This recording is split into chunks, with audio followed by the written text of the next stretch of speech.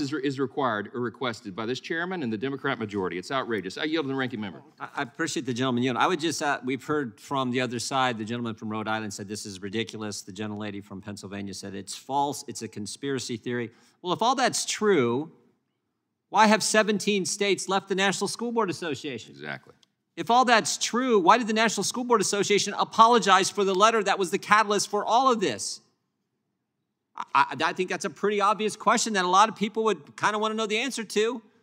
And if, and if Mr. Garland says they're not doing it, why is the National Security Division? These are the questions we need to ask, but unfortunately, the Democrats won't let it happen. I yield back to the gentleman. Appreciate his. I thank the ranking member. Yield to the gentleman from Florida.